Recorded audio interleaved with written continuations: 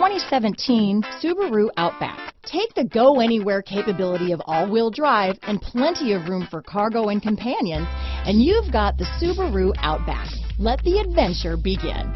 This vehicle has less than 30,000 miles.